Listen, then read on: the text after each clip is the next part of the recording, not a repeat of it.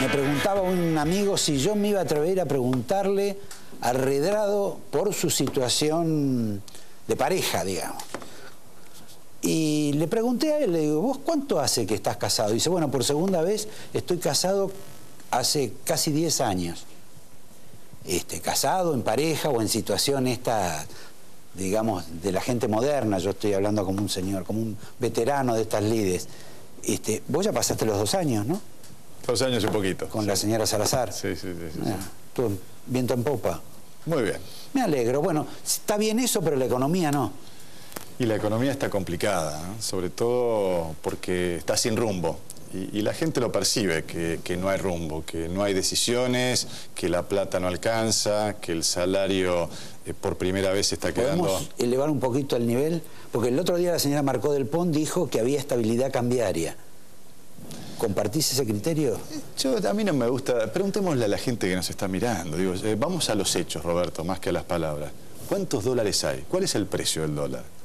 el blue, el, celeste, el contado con liquidación, con lo cual, digo, el Banco Central lo han vaciado de contenido, lamentablemente, dijimos ya en el 2010 que manotear reservas iba a tener consecuencias sobre la vida de todos los argentinos, que iba a traer más inflación, más presión sobre el dólar y las consecuencias de esa borrachera de haber tomado un poco de cocaína las estamos pagando ahora. La resaca la, tenemos ahora. La gente sigue este, tomando reservas.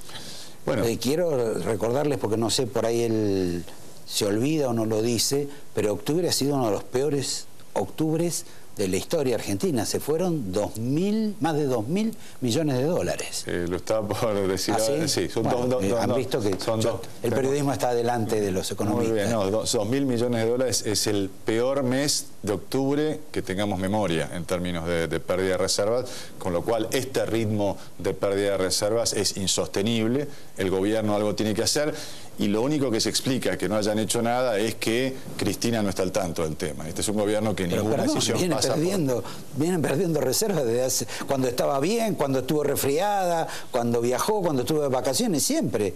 Pero no este nivel, no este nivel. Este, este, nivel lo hace insostenible. ¿Vos crees que ella en este aspecto, ese es un tema que le inquieta? Estoy seguro que le inquieta. Porque la inflación no le inquieta, porque ha, permitido que la Pimpi Colombo y el señor Moreno digan que no hay inflación y que el señor Aníbal Fernández también dijeran lo mismo. Este, o sea, ella permitió eso. ¿Lo de las reservas también lo permite? Estoy seguro que le inquieta porque para ella, en su concepto, las reservas es su base de poder y es lo que le va a permitir transitar sin sobresaltos, por lo menos en el aspecto económico, hasta el final de su mandato. Por lo tanto, que vaya cayendo de manera sistemática nosotros se lo dijimos en enero del 2010 que algo similar le iba a pasar y de hecho de los 50 mil millones de dólares que yo dejé cuando me fui del Banco Central, hoy estás en 33 y bajando. Si hoy ya no quebraste la barrera de los 33 porque hay un poquito de maquillaje en los, 33. números. También maquillados. También maquillados porque si le sumás los préstamos que hay con Banco de Francia, los depósitos de Argentina, tenés 24 mil netos, más todos los papelitos de colores que le han puesto en estos años. Con lo cual, estoy seguro que le preocupa porque las cosas que le preocupan a Cristina no son tantas las económicas, son cuando ella siente que le disputan poder o que pierde poder. ¿Y que vos crees que alguien, que puede haber algún ataque hostil sobre la Argentina en materia económica? No, no, pero, pero la pérdida de reservas a ella le siente que está perdiendo poder. Que realmente lo está perdiendo poder en la política, porque cada día que pasa estamos más cerca al final ¿Por qué haces las dos cosas? que haces política? No, yo vivo como economista, Roberto. Bueno, pero digamos, tenés el otro hobby. Hoy, tampoco te va tan mal con el otro hobby. ¿eh? por favor, no, como diría Cristina.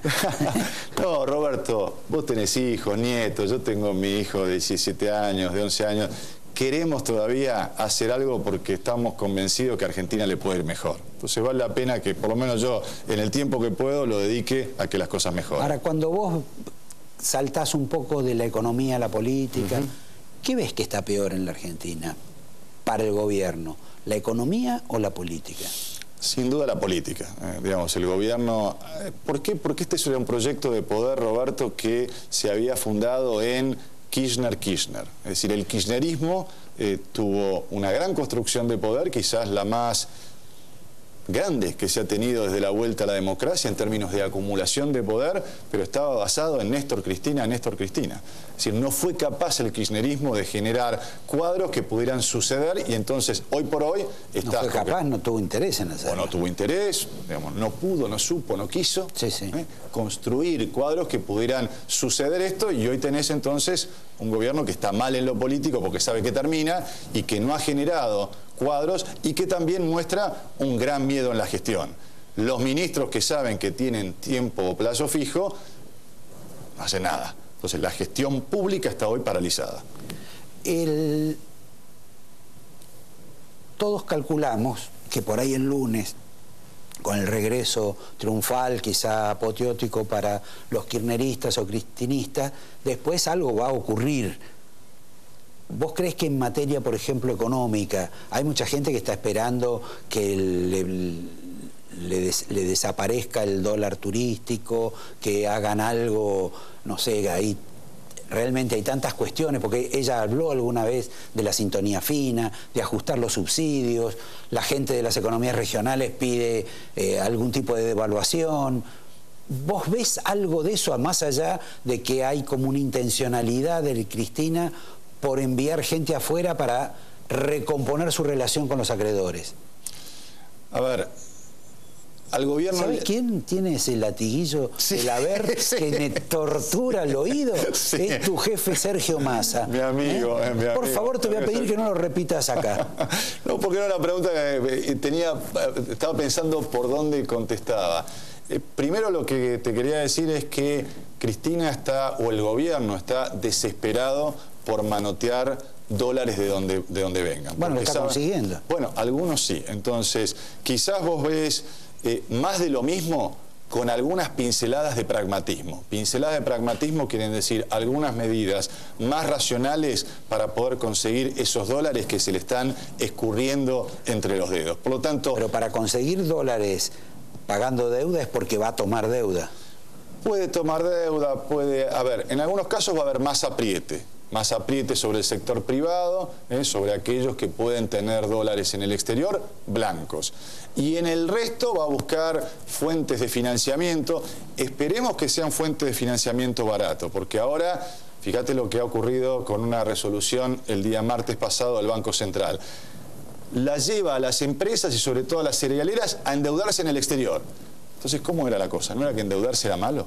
Y que sobre todo endeudamiento de corto plazo era malo. Es decir, ves improvisaciones, manotazos, bandazos, van para un lado, van para el otro, que lo que demuestra es falta de idoneidad.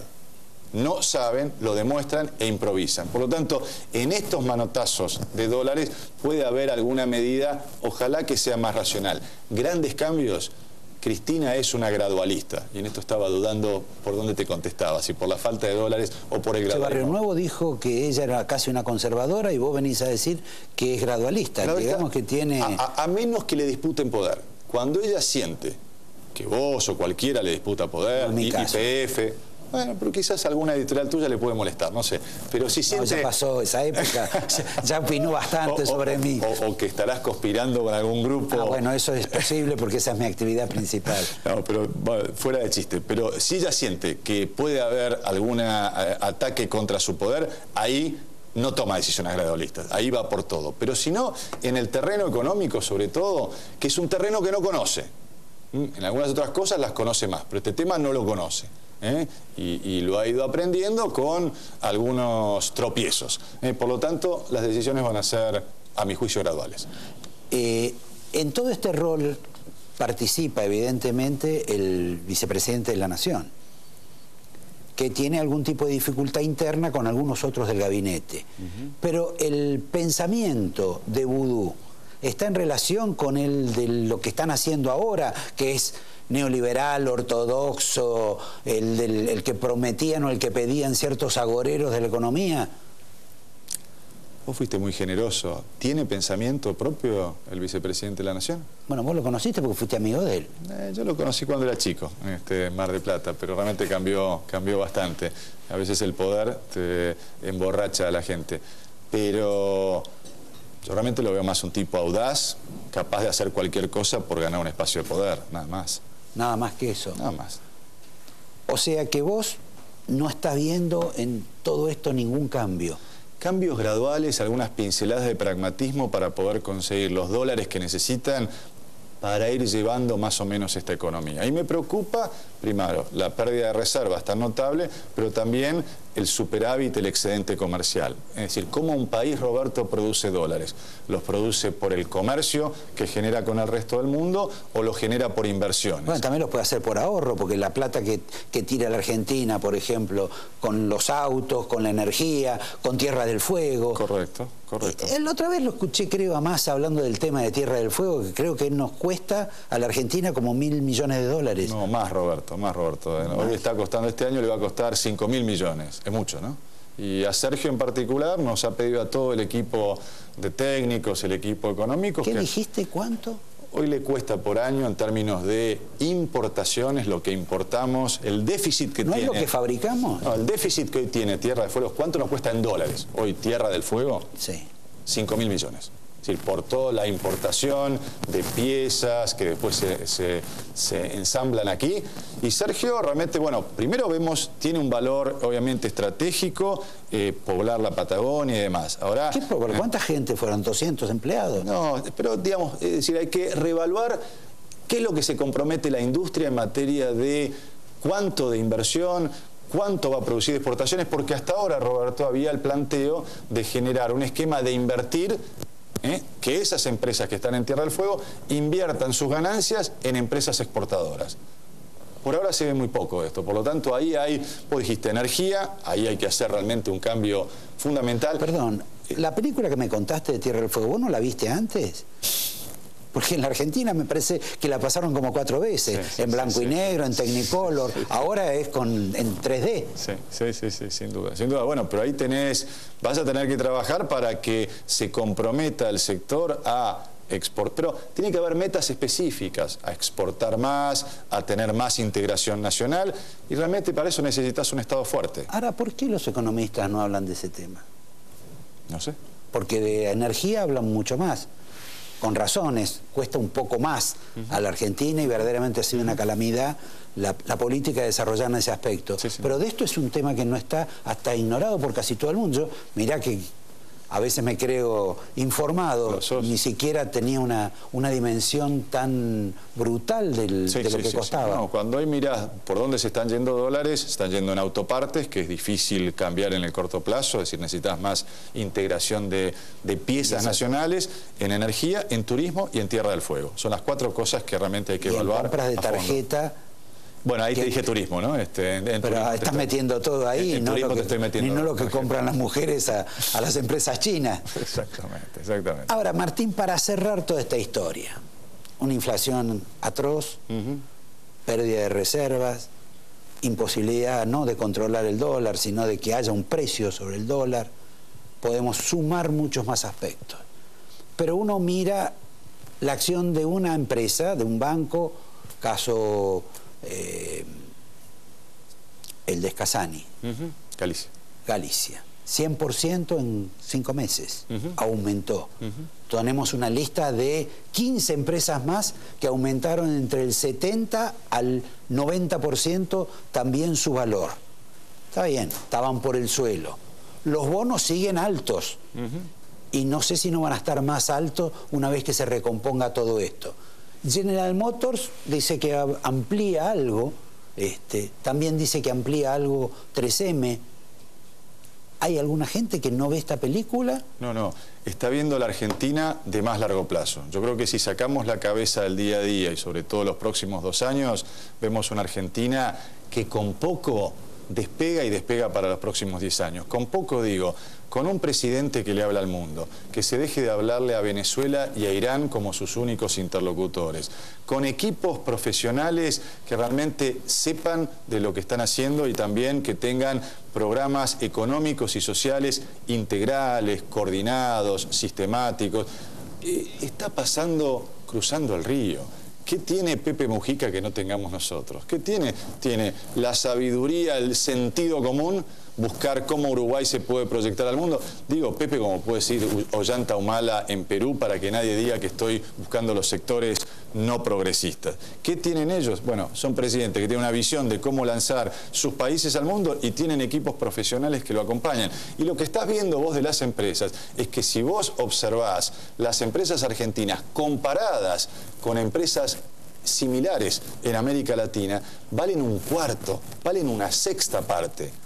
¿Por qué? Porque se pensaban que había kirchnerismo para toda la vida, que podía pasar cualquier cosa. Bueno, lo que sabemos después de las pasos y de estas elecciones, y todos le debemos dar las gracias a Sergio Massa, porque si no se hubiera presentado en la provincia de Buenos Aires, déjame esto, porque realmente, digamos, Sergio Massa terminó con el sueño reeleccionista en la Argentina. De hecho, ya y seguro que le va a hacer muchos servicios más al país, pero ya le ha hecho un gran servicio a la Argentina, a la democracia, a la República. Lo que sabemos hoy, bueno, veremos. No, está bien, veremos, perdón, lo he dicho más de una vez. La gente después lo va a evaluar por las cosas que haga como diputado, por jugarse, por derrotar la inflación en las herramientas que tenga o por generar policía municipal. Tenemos que dar respuesta para las cosas a las que nos comprometimos en la campaña. De eso dependerá. Pero ya hay un servicio claro que se ve en términos de que todo el mundo sabe que este gobierno termina el 10 de diciembre del 2015 y hacia adelante viene algo mejor.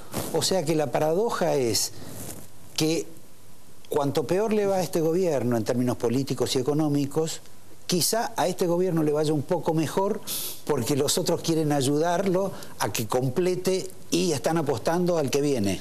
Es cierto, y el final de este gobierno va a ser más fácil porque todo el mundo va a tener expectativas de un cambio positivo y por lo tanto ya va a haber fondos, dinero que va a estar viniendo a la Argentina con la expectativa del cambio. Martín, te agradezco que le des oportunidad, sueños de futuro a la gente que te está viendo. Este, veo que has traído eh, el mismo libro de siempre. No, bueno, pero es inédito porque esta es la edición latinoamericana. Esto, eh, o sea, tus eh, televidentes habrán visto la edición argentina, pero sin reservas hoy está más actual que nunca. Esta es la edición no que hizo Planeta, sino que hizo Amazon. Hay una edición en inglés de esta y una edición que se distribuye en toda América Latina y también la dediqué con, cariño para todos tus Ah, muchísimas gracias. bueno, está para ustedes el título es algo más que eh, sintomático, sobre todo cuando acabamos de pasar uno de los meses más terribles con pérdida de reserva por más de 2 mil millones de dólares.